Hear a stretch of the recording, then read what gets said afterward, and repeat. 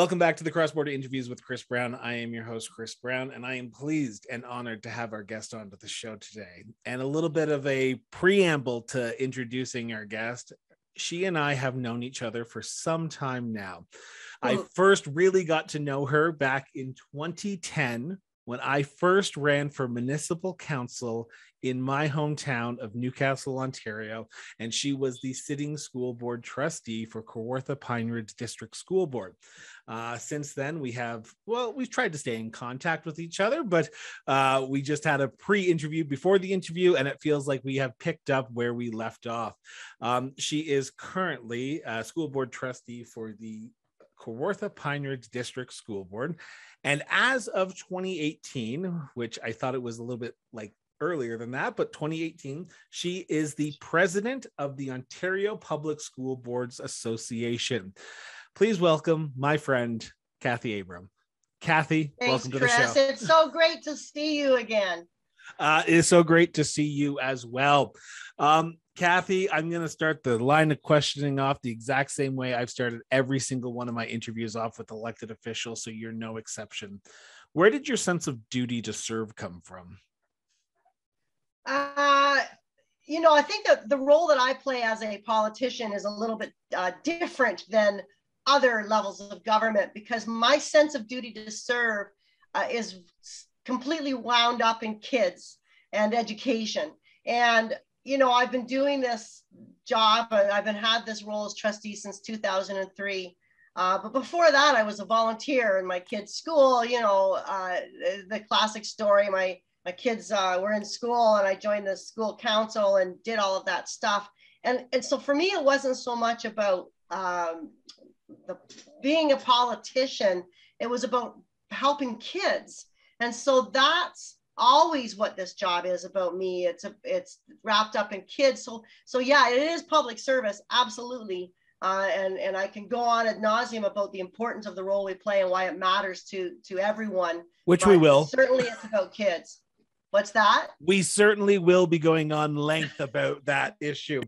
But I want to start with that 20, 2003 election when you first were elected what was the issue what was the moment that you decided to your uh, thought to yourself okay this is the election that i need to get involved in because i believe that this issue needs to be addressed and i believe i'm the only one who could address it well, to be quite honest with you, I had not even ever thought of running for trustee.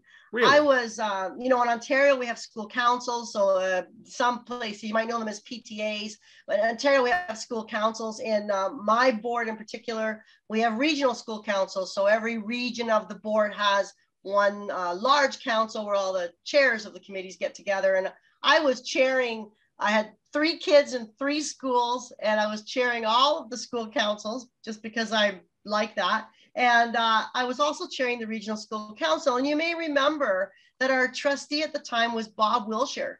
And Bob had been our trustee, and, he, and, and Bob and I only lived like maybe four or five blocks from each other, right? So I've known him for some time, and he was great. He was a great trustee, and, and I, a lot of respect for him. Unfortunately, Bob became ill with cancer, and I remember uh, getting the, I remember getting a phone call, and I don't even remember who it was, but I remember getting a phone call at one point, and somebody said, Bob wants you to come and see him at the hospital. Well, you know, I knew Bob, but I didn't know Bob that well. but I went. And if you remember Bob, he if he really liked you, he never called you by your first name. I don't know. It was a thing mm-hmm. with him. So I remember getting to the hospital and uh, and Abraham shut the door and he started to tell me why I needed to run for trustee and why I was the person that he was picking to fill his spot. And honest to goodness, I until that moment had never really thought about it. I was I was um, you know I was uh, doing my thing. I was being a mom. I was, but I loved what I was doing, and and it really truly wasn't until that moment that I had even thought about running for trustee. Now, uh, the other thing that happened in that year is unfortunately Bob passed away in March and the board had to appoint somebody to, to be the trustee to fill in until till October until the election. And uh, I put my name in, and uh, and you know I thought I was incredibly qualified to be the appointee, and they appointed somebody from Peterborough, and I was like, hang on a minute, yeah, yeah, I they appointed somebody from Peterborough, and I remember thinking at the time, yeah, no, this really matters. It really, really matters who represents Clarington. It really matters that somebody who uh, is sitting at that table knows our communities and knows our kids, knows what's happening. And, and I think that almost uh, as soon, remember back in those days, you could start uh, filing for election in January of the year of the election. I think the day I found out I didn't get the appointment was the day I put my name in because I thought, yeah, I totally can do this and I totally can do this better than that person. And, and that's that's how I became a trustee. But you know, seriously, had never thought about it until Bob. I, I remember coming home from the hospital and my husband said to me, like, what was that all about? And I said, well, I think I just got blessed by the Pope. like it was just like I was like so taken aback but yeah and that's how i got that's how i got in that's how i got here. But i had an interest. It's not like i came from nowhere which which we'll talk about in two seconds but i just want to clarify something here for a second because in in alberta where i'm currently located we have school boards that span very large areas. So for the kawartha pine ridge district school board which has been around for some time it is the you were first elected as the school board trustee for kawartha pine ridge district school board correct? It's been there that long. Um Pine Ridge District School Board takes in Peterborough, which people may know if they're listening to this, Clarington, and what other areas? Because if I'm not mistaken, it goes all the way through Northumberland, almost out to Brighton, does it not? Yes, we we Kawartha Pine Ridge takes in uh, 14 municipalities, towns, and cities. Uh, we go from, uh, if you're looking on a map, uh, we go from the border of Oshawa and Courtice all the way out to Trenton, to just the uh, the border of Trenton. Okay. And as far north as Apsley. And so we're 7,700 square kilometers. That is a very large, large area. And for anyone who is still a little bit confused, take Toronto, head east. Head yeah, yeah, head head east. Once you hit Oshawa, that's the border of where you're going to be. Well, the border of Clarington and Oshawa is where you're going. So that's the start of it, and that is where Cathy is uh, located. She's in Clarington, which is uh, my old hometown. Newcastle's my old hometown. Um, I want to stay on this uh, that 2003 election because you have had the honor to represent the school board for some time now, and you are uh, someone who I've known to be passionate about school board issues. In your time of, I want to say, almost 20 years now, has there been changes that you've been happy about, and have there been changes that you've been not so happy about with the school board system? Um, absolutely absolutely there's there's changes that i'm very happy about. I am i'm very pleased to see our progression as far as um, um, acceptance of uh, I, I mean you know we didn't used to be as a system uh, as an entire system as accepting of differences. We, like, there's a huge impact in, um, uh, interest and and respect for equity diversity inclusion now that was a whole lot more difficult back in 2003 I remember um, very early on having an uh, having a really difficult issue, I, and I think maybe you had moved by the time this one happened, Chris, about the young man um, wanting a, a gender neutral bathroom at Clark High School. That might have been around 2005, maybe somewhere around there. I think I it was just after, after while, I, time all blends. I think it was just yeah. after I left because I left. I when you were elected in 2013 in October, I was that graduating class. So I was graduating right. in June of 2004. And if I'm not mistaken, because I remember covering that story in uh, uh, Belleville for newspaper, and I believe it was either 2006 or 2007. It was a few years right afterwards. Yeah. So so that was a huge that was a huge deal, and and working so hard to have people understand why we need to to uh, to respect and honor and and give people space to be who they are uh, was a whole lot different than it is now. Like now, it's like, oh, okay, yeah, okay, whatever. You know, But it's so I'm very proud of changes like that. I'm very proud of of uh, of all of the work that we've done and what happens in our schools around that. I love what we're doing now around Indigenous education. I mean, uh, eh, like as you may know, at Kawartha Pine Ridge, we have for, we have three First Nations within our board boundaries: uh, Alderville, uh, Curve Lake, and Hiawatha. We work very, very closely with our, our Indigenous partners in education, and uh, I'm I'm very proud of the, how the evolution of that and, and the work we've done with that. And I'm also very proud of where we were to where we are now around student voice. You know, we used to, Kawartha Pine Ridge, I will say, it was one of the very first boards that had a student trustee. When we didn't have to, we thought it was the right thing to do. Now every board in the province has to have one. But you know, really, we're talking about educating kids. We should probably talk to the kids about what they want and need. And, and so I'm very proud of where that's come. Uh, some of the things that I haven't been as thrilled with, you know, and it's not local. It's not like our local governance things that I'm having. I have some problems with. It's the the relationship between school boards and the provincial government has changed. Uh, you know, um, uh, Ontario for many years, 1998, uh, and you remember we lovingly referred to it as the Mike Harris years. Uh, common sense revolution. Common sense revolution. Yeah, yeah, common sense revolution. Yeah. Uh, we have we don't tax. I mean, I think actually Manitoba was the last province province that was uh, had taxation rates, and I think that uh, I, I, I, mean, in fact, I know that I think that they've lost they've, they've lost that ability. Uh, we don't do that, so we don't raise any. We can't we can't make that kind of local decision making where you know, for instance, in, in, Clarington, where I am right now, we're growing like crazy. Like we, we're so many new houses. Well, we don't have the, the, the ability to say, yeah, we got to build a new school.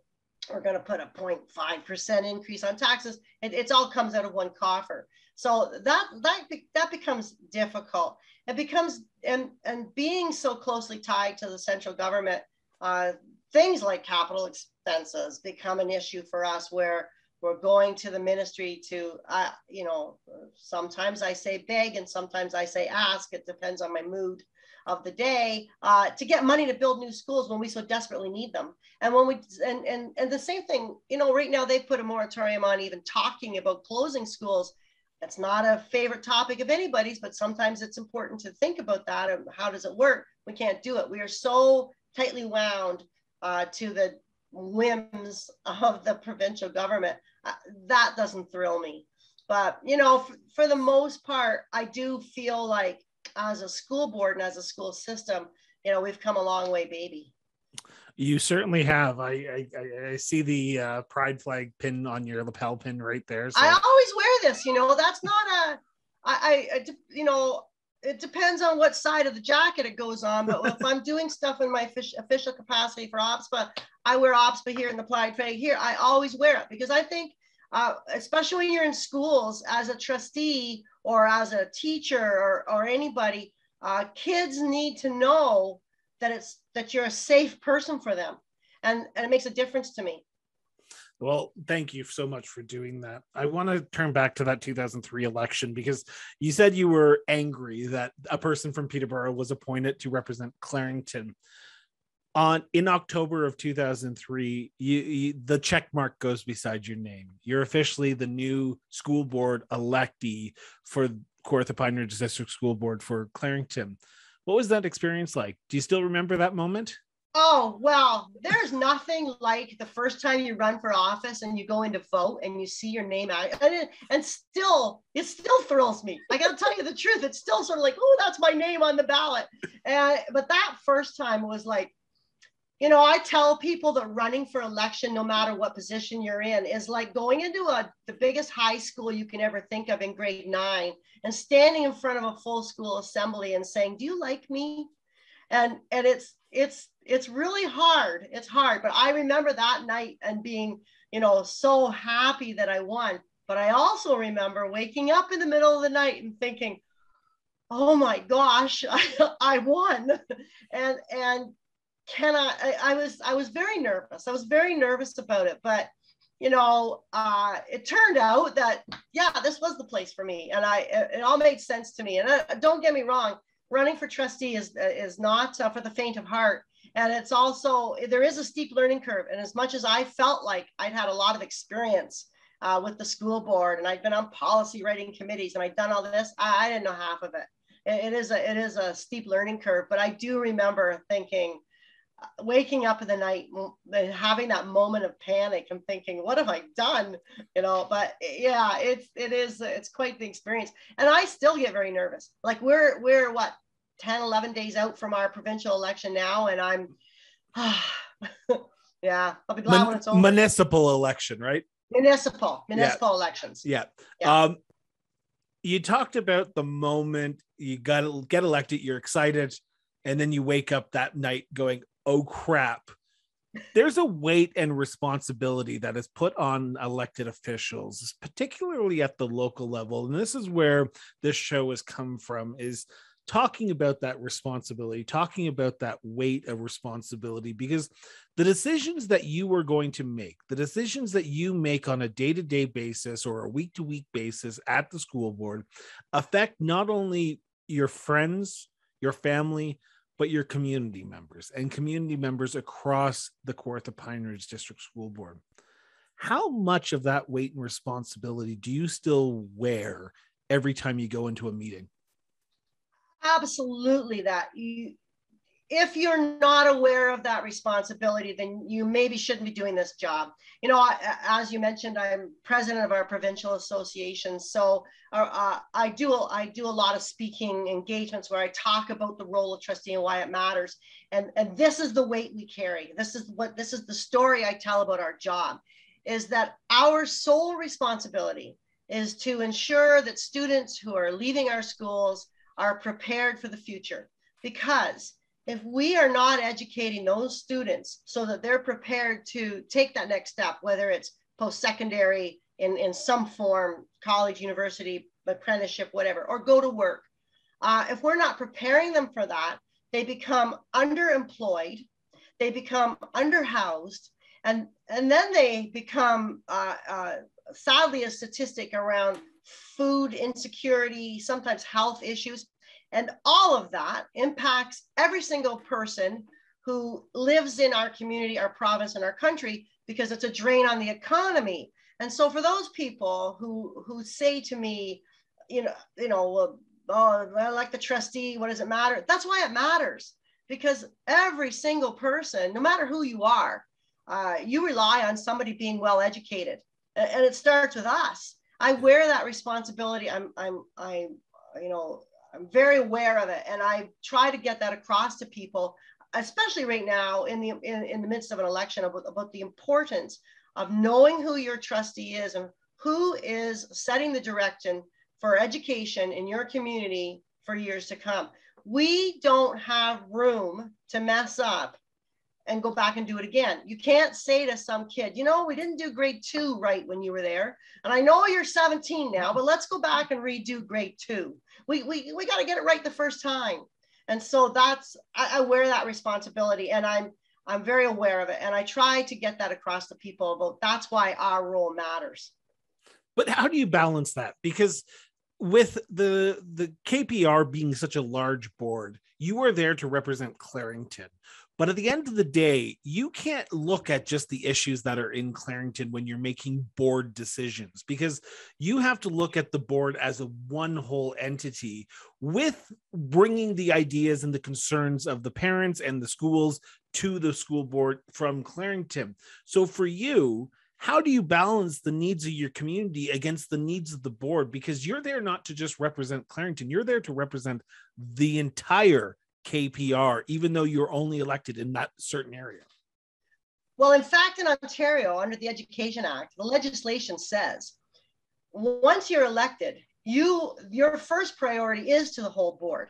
It's not while but, balancing those other issues. So you're right. Sometimes something comes towards the in front of the board, and we're making a decision on something.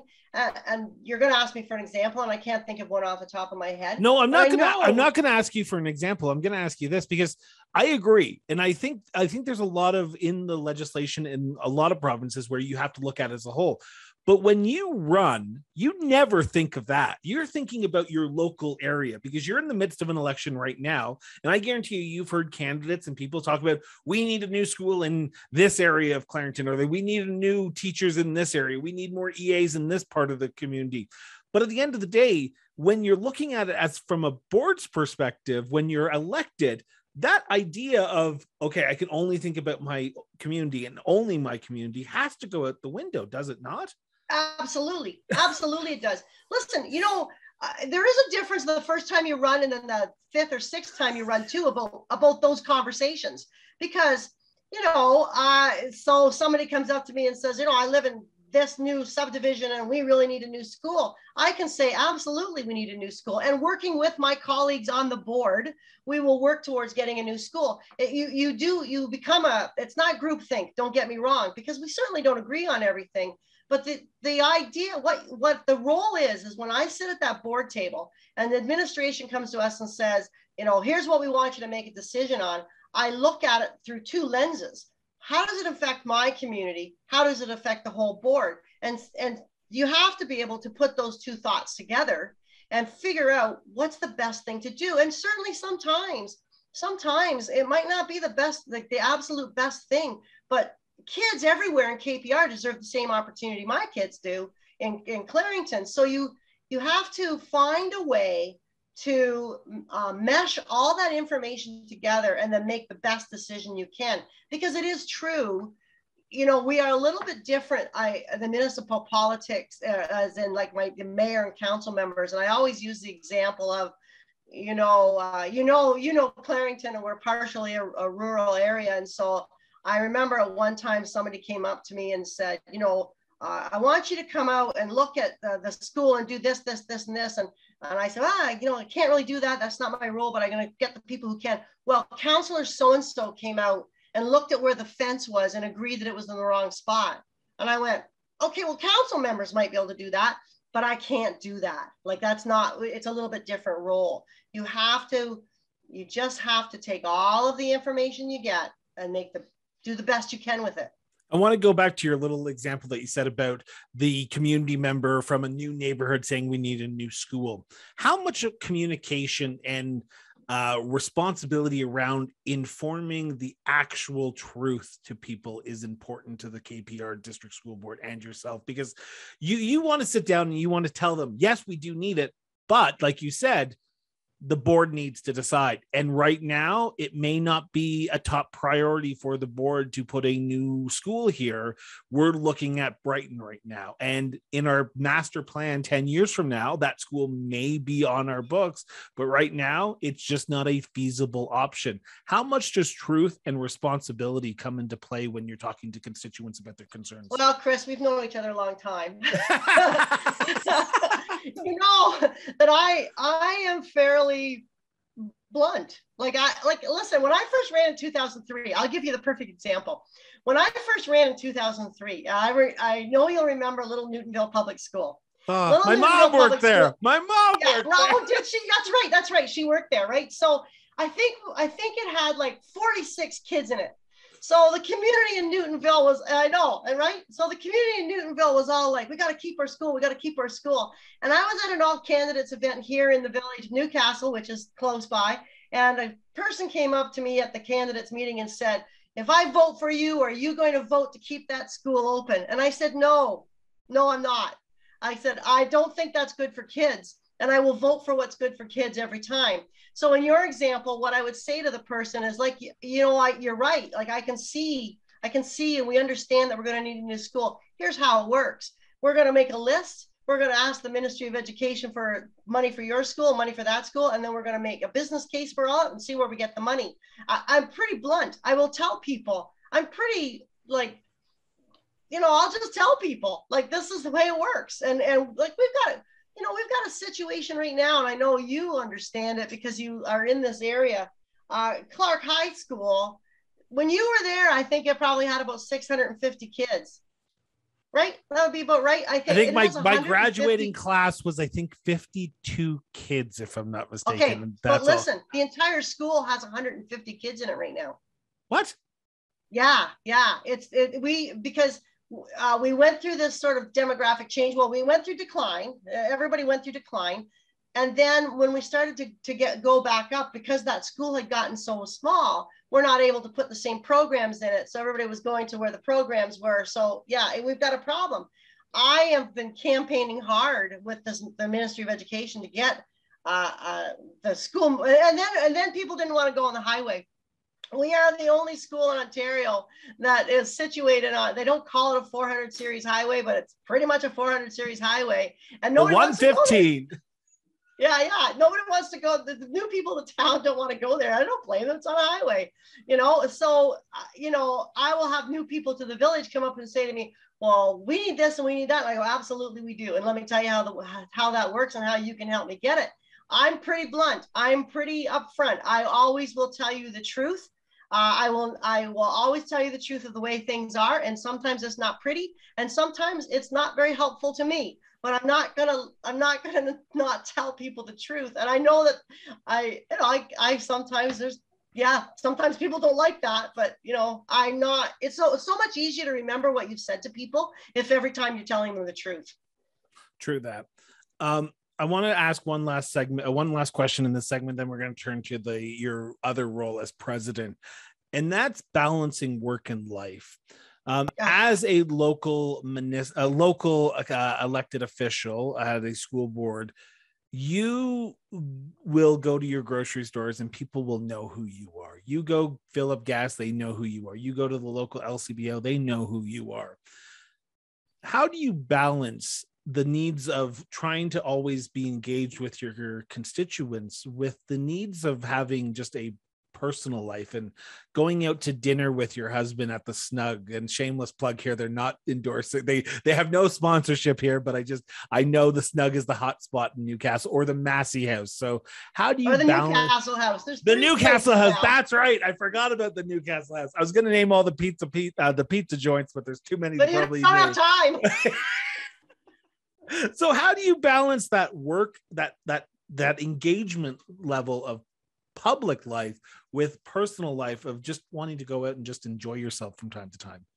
It is it is um it can be a challenge. It can be a challenge. I'll tell you uh going back to 2003 when i first got elected you know um my husband at one time played in a billiard league right? He played pool. Every every wednesday night he played pool at the hole in the wall I, I, I, that's a ah. local reference that you know. Uh, it, it, it, was a, a, local pub, right? It had pool tables and it's a bar and uh, and great chicken wings. They had really good chicken wings. And every Wednesday night he played in a pool league and he'd go down there and, and play pool. And my our kids were, uh, our oldest would have been like 12 or 13 at the time. And, and the youngest would have been eight. And so uh, I would every once in a while on a Wednesday night, we'd take two cars and go down there and I would have a beer with my husband in a bar um, over the age of you know 19 and i'd have a drink and i'd come home. Because we had our kids old enough to watch the kids. Shortly after i got elected the first time before i'd even been sworn in as trustee i wasn't even i wasn't even sworn in yet uh, a friend of mine says i'm in the hairdresser the hairdressers i'm in the hairdresser and uh, she starts going on about you know that new school board trustee? I i heard that she was in a bar drinking with a man. And i'm like hold on a minute. I was in a bar drinking with a man. I'm old enough to do that. And uh, he was my husband, or he still is my husband. And, and uh, you know, and like the comment was like, what kind of an example is that to set for kids? And I'm like, well, there were no kids in the bar. But I think uh, that was a lesson. That was a, a very uh, cheap lesson for me about uh, recognizing exactly what you were talking about about balancing. I am i am very careful about where we go and and uh, like we go out for dinner in town or something uh, but i'm pretty careful about things. And if there's something really really hot happening in the in the, village and i just need to buy a bag of milk i i'll go to i might go to the next town over to get it just because i know a bag of milk at the foodland should not take me an hour. I you know i could i could walk there and back 10 times you know it, but it happens. You have to find a way. Um, I don't mean this to be, I don't want to sound mean about people, but you do have to find a way to protect yourself a little bit because I, I deserve to have a life uh, that's that's not under that much of a microscope. A, a, a microscope, and I believe that about all elected officials. Like there's you know, yes, I'm I'm a 24/7 trustee, but on you know Christmas Eve at, at 9 p.m. and I've had more than one glass of wine, that should be okay for me in my own home. But do people understand? Because I can imagine going to the next town over all the time to go get milk if there's a hot topic issue because I lived in Clare, I lived in Newcastle. I, I, know there's lots of people like that, and no disrespect to anyone. And I think it's a great, great uh, show of support that people are engaged democratically when they have issues they want to talk about. But are you willing to? Are you able to go and say? I, I would love to chat with you. Here's my business card. Call me tomorrow, and we'd be happy. I, have done that.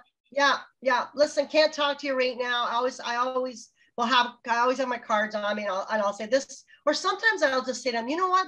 I don't think this is a great place to talk about this because everybody can hear us. So here's my card. Call me tomorrow. I would, I'd love to talk to you. I can do that, and I have done that. And and people, for the most part, you're right. I mean, I, I, they're engaged. At least they want to talk to you. I mean, you know, that's that's a good thing.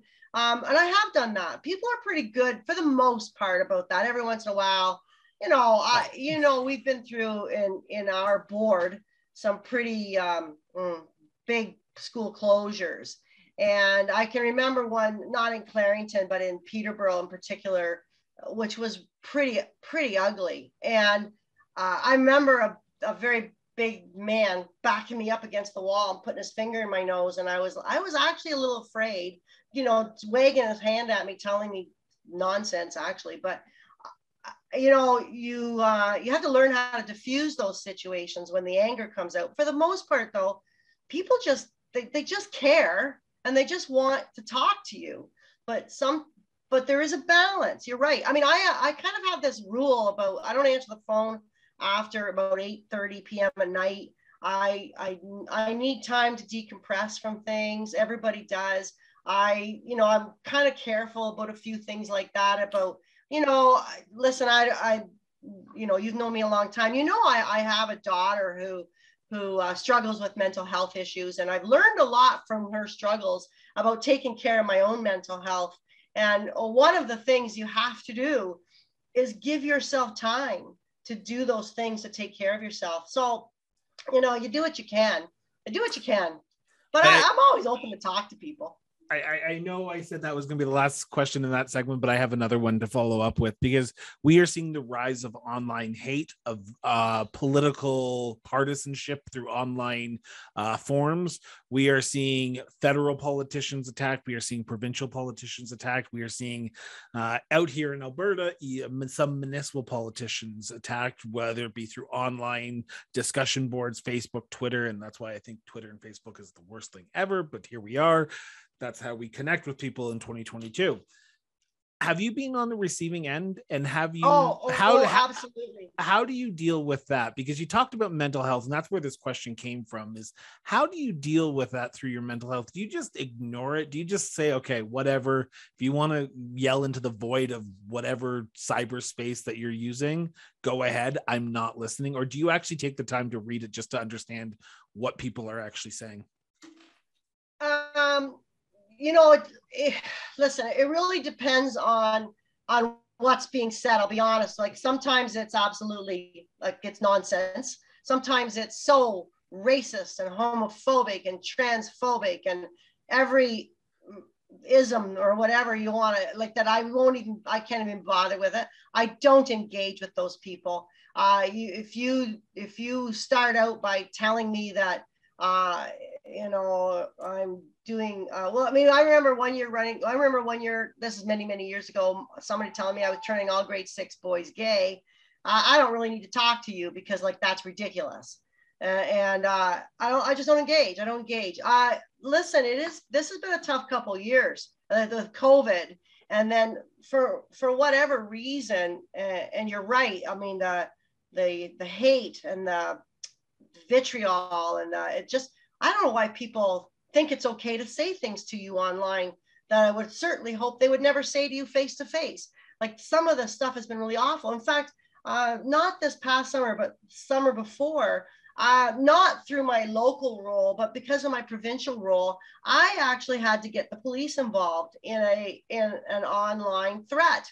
You know, for the most part, yeah, I just kind of go, okay, whatever, mute that conversation. And I, I don't, it doesn't really affect me, but that one did. Like he was very clear about, I hope you have security at your home. I, and it was like, oh, I, th- that one did. And I, I remember calling, uh, actually, I called a cousin of mine who's an OPP officer. And I said, what do you think I should do about this? He said, call, call Durham region. And I, I called the police uh, uh, station. I told them what had happened and, and and they said, no, you're, you're right to make a report. Now, I never heard from the guy again and nothing happened, but I was scared enough that I called the police. That's not right. Like, that is never right. It does not matter who you are. It doesn't matter. Like, I don't, you know, listen, we know each other and we're, we're friends because we're political beings mm-hmm. and we talk a lot about what's going on politically. And I know lots of people like that. And I don't have to agree with everybody but you what gives you the right to threaten somebody's security what gives them the right that makes me feel like i need to call the police because i'm concerned that my family's in my house and oh this guy seems to think he knows where i live and like you know and that's not the that's actually not the first time i had a, I had another incident here in newcastle with an upset parent who uh, we actually we had we did get durham region to go visit him because he did say to me, I know where you live and I, I'm coming to see you. And I was like, what? That's wrong. And how and- do you protect your mental health around that? Is you have to, for the most part, I I shut everything off. Like I mean, at nine o'clock at night, I I'm off everything, and I you know watching my sad Blue Jays during that season, uh, or you know like I I try to get I try to shut it off. Um, it, it is hard. It's hard. You have to work at it. I go to the gym. I tell people I, I clearly don't go because I'm trying to be thin, but I go to the gym because of my brain. Like I, it, it helps me with my mental health. You, you just find ways to take care of yourself. Um, I want to turn to the big topic, and that's your role as president of the Ontario. I want to make sure because every time I said it in the, my pre-interview before you even got on, I always got it wrong but the president of the Ontario Public School Board Association. And I want to start with this question. And before I preface this question, before I state this question, I'm going to preface it with this. This is a conversation between Cathy and myself. This is an opinion of her. This is an this is a conversation. This is not a motion at the School Board Association's council. This is not a direction. This is just an opinion. We seem to forget that sometimes people can have opinions, and yes, they do then get brought forward in a political sense but this is just a, a political opinion right here, right now. Cathy, in your opinion, what is the biggest issue facing school boards in 2022 heading into this new term? Oh, uh, if I were to ask my colleagues and if I were to just kind of look around at the things that are happening right now with my provincial colleagues and um, just things that I see that are happening right now, I'm going to say protecting public education as a as public education. Um, you know, you and I spoke briefly earlier about what we're seeing happening here in Ontario. We're seeing it happening uh, from I'm hearing from colleagues across the country of people trying to uh, get on school boards to change uh, kind of the direction we're heading about uh, on the issues of equity, diversity, inclusion. I'm going to tell you, uh, that's my biggest fear uh, around this election. And and um, you know, every every local every local trustee, every local school board is going to have their own little local loan local issues. But I would say provincially, that's what I am most concerned about. The change in um, what we're seeing, this change uh, around acceptance and trying and people who do not believe in it in all of an EDI as we call as we short form it because we short form everything in education. Mm-hmm. um, who do not believe in that trying to take over school boards. That is not good for kids.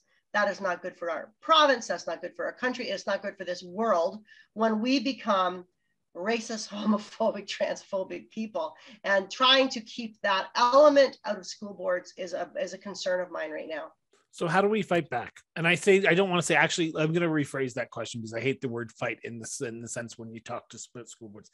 How do we how do we change that? Because yes, you're right. And we're seeing it here in Alberta. And I've talked to school board trustees from across this country, and they're saying the exact same thing. Um, elections are elections. Elections matter. People get out and vote, and they the best person, the person who had the most plus one vote wins. And we are in a situation right now where we're seeing a more right wing, uh, more conservative bent when it comes to people looking at school boards. How do we change that? How do we get people to understand that equity, diversity, and inclusion actually is a priority and needs to be a priority? Because I and I, we said this during the interview before uh, the pre-interview, and I'm going to say it again. I remember growing up, growing up at Clarke High School. I was a gay kid, and I can tell you the hate, the vitriol, the attacks that I got on a regular basis, and from people that say that they're friends now who have reached out, out after my cancer diagnosis and said sorry to hear about your cancer diagnosis and i'm saying you made my life a living hell in high school and now you're doing this. So how do we change that? Because we have come so far and you're right it looks like we might be going backwards instead of forwards. Well first of all i, I want to say this um, I try not to refer to those folks and this whole thing as necessarily conservative. I don't True. believe they're truly conservatives.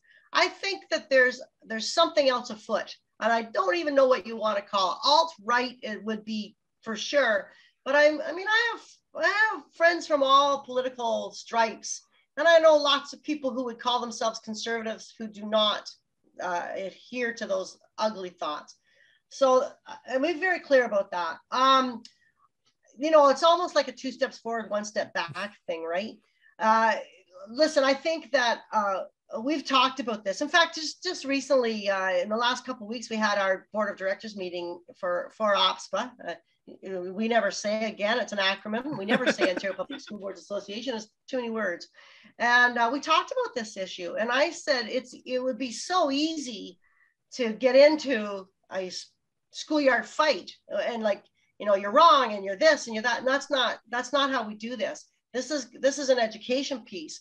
And so what i've been trying to do uh, is say let me explain to you what critical race theory really is. Because if one more person tells me we got to stop teaching it in kindergarten i mean if i had a dollar i you know might be able to get a coffee at tim hortons but you know um, with inflation you might be able to get a small.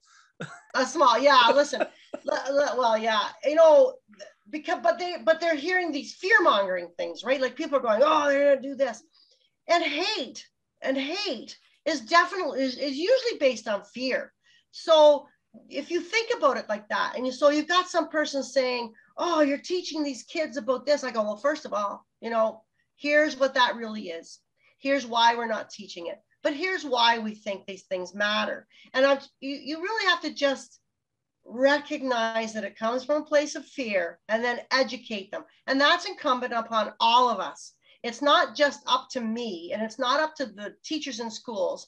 It's up to, you know, you're sitting at you're sitting at Tim Hortons having a coffee with your friend and your friend says something that's not that you're shocked about likely and that's not true or accurate. You have to have the confidence to say no that's not right. And it I I liken it to the bully and the bystander, right? How long how often do you always hear about yeah you can't if you see bullying happen you have to say something. If you see racism happening you have to say something. If you see you know uh, somebody being transphobic or homophobic you have to say something. You don't have to be confrontational. You don't have to be ugly about it. You can just be educational about it. And that's that's how i think we have to do this.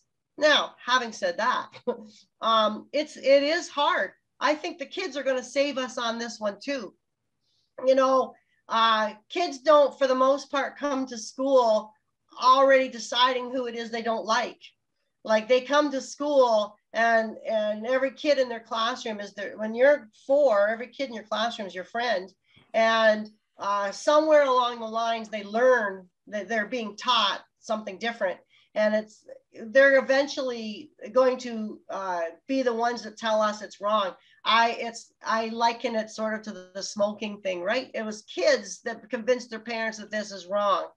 And I think that's what's going to save us. And that's our job as, as school board trustees, as school boards, to make sure those, those that's why this election matters uh, to make sure that those lessons are in school so that when you know we don't we're not telling anybody uh, they have to be or should be or can't be anything we're just telling people in kindergarten that you know uh, little johnny susie whomever that sits beside you yeah they got two dads they got two moms that's okay. Who cares? Who cares? And and that, that's all we're telling people be kind. And and that's how it starts those those little lessons where it's in the curriculum where they they see that um, uh, the the person that you're learning about that's doing this big science experiment has brown skin and it's normal and and that's how it starts. Uh, it, it is a hard one. It's a really hard one but i i know uh, right wins in the end and we're right about this one. So so we'll we'll get there. What's your relationship like with the minister of education in your role as president of OPSBA. OPSBA. OPSBA. well, it is. Uh, listen, we work very closely with the ministry. I, um, you know, I, we, we talk about having different levels of relationship. You know, that's the politician, the politician level. So I talk to him quite regularly. I'll be honest and tell you over COVID, we, we were, we spoke quite regularly about how we were managing things, what's happening uh, in schools and, and offering advice and those things. Uh, we still do. I mean, there's a, if there's a, it's, it's quiet right now because there's a respect for the fact that we're in the middle of an election, right? For my job. And, uh, but if there's an issue that's come up, I, I have his cell phone number. I'll call him and I have, or, or send him a quick, te- quick text and say, I need to talk to you about this. So I have a relationship with them. We have to have a relationship with them. They, they are, uh, they're the money people and, and and they set curriculum and they set legislation around our job so we need a good relationship and it's our organization is nonpartisan. So, you know, before uh, the Ford government got in and it was the PCs, it was the liberals, and our organization had the same relationship with them. And we work very closely with our Ministry of Education. I also work closely with the critics. And don't, you know, don't think that just because you know the, the liberals or NDP or Greens aren't in power, we're in contact with them as much as. I, I want to turn to my last question on this subject before we wrap up because we're almost at the 50 minute mark and I don't want to take up more of your time here, Cathy. And that is as the president of OPSBA, OPSA, OPSBA, OPSBA, OPSBA, which is the weirdest acronym I've ever heard, but know, here we are. We I live know. in 2022. Could be worse. Um, you are responsible to look at look to lead the organization and it's many, many school boards. How do you balance? We talked about the balance of local and individual on the Kawartha Pine Ridge District School Board. How do you do it on a provincial level? How do you balance the needs and wants of all the different school boards? Because I I have been watching the news and I see what school boards are going through in Ontario and the one in Halton is going to be different than the one in Ottawa and the one in Thunder Bay is going to be different in Kenora than down in Clarington. So while you are a rural urban uh, trustee because Clarington is kind of a rural urban divide, how do you balance the moving forward as one as a school board association? So there are things we all agree on. We have we have priorities that we all agree on, right? Uh, so uh, mental health of students, uh, capital funding. Like there, we have the five or six Indigenous education. Like, like we have priorities. Underneath those priorities, it absolutely is different wherever you are in the board. So if if something's coming up that we're commenting on or advocating for provincially, I will actually say it is very important that we have local flexibility about this because what's happening in Clarington or Kingston or Ignace or Thunder Bay or Kenora or anywhere in this province is not exactly the same. We're not cookie cutter. It, it, I take a lot, I spend a lot of time trying to understand each area's issues because clearly uh, you know, you live in northern, northwestern, northeastern Ontario. It's a whole lot different than downtown Toronto. Does it make it worse, better? No, it just makes it different.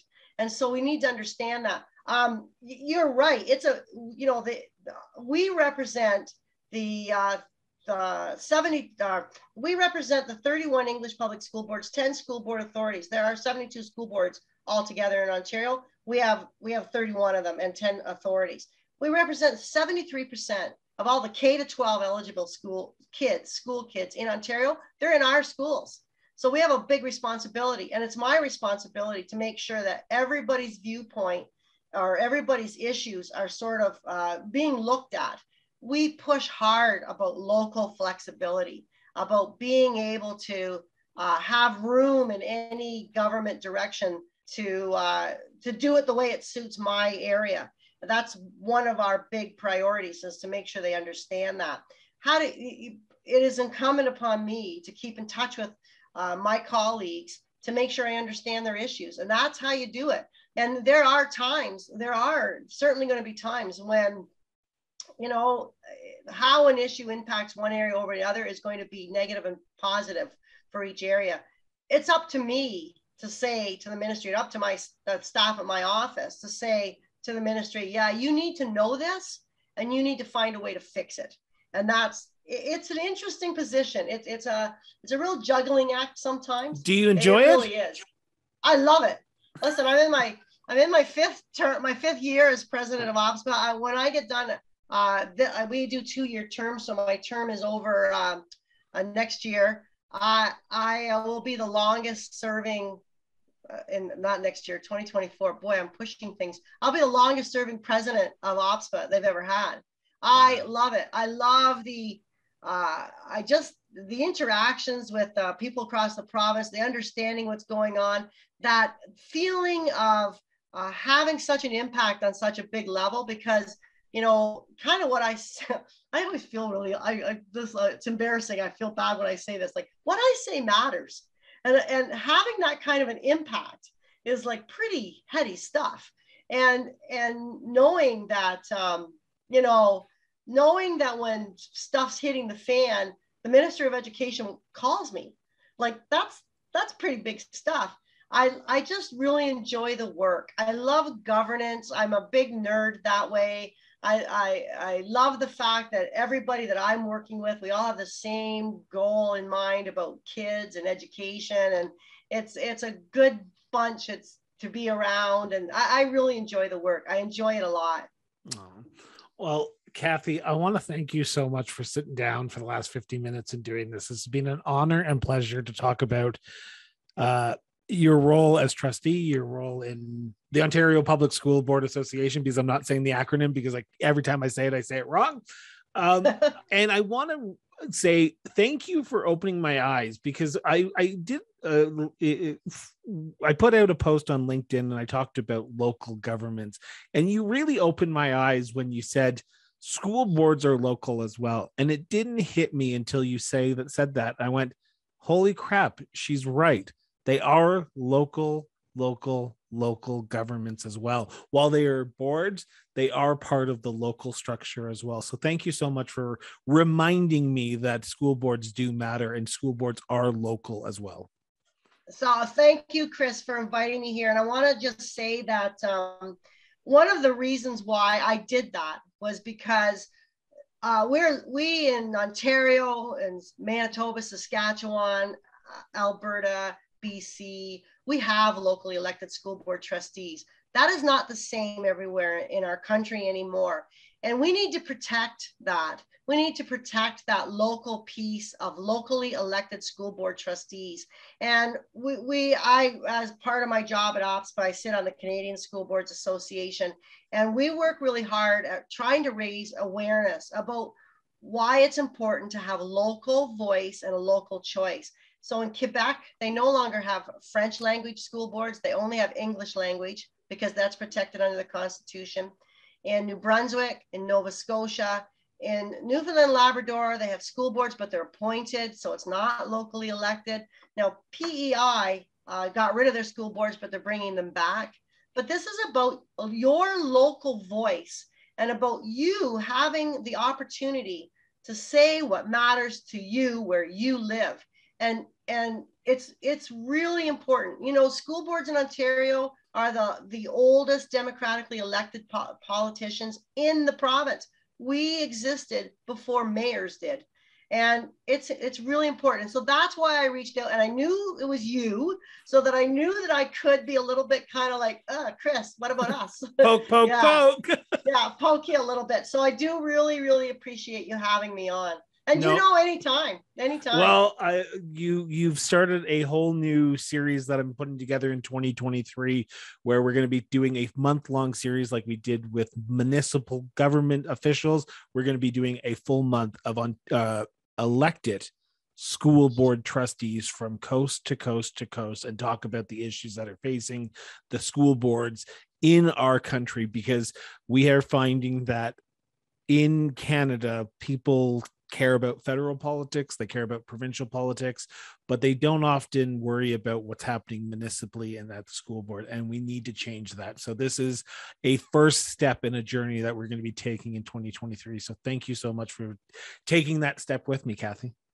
Oh, you're very welcome. You're very welcome. And thank you again for inviting me. So, with that, I want to remind everyone put down your phone. Put down your phone, put down Twitter, put down Facebook, put down TikTok or whatever they call it these days, put down Instagram and go have a conversation with somebody. Get out from behind your social media and have a conversation. It helps our democracy, it helps our society, and it helps us at, at the end of the day be a better people. So, with that, this has been the Cross Border Interviews with Chris Brown. Have yourself an excellent day. And remember, everyone, keep talking.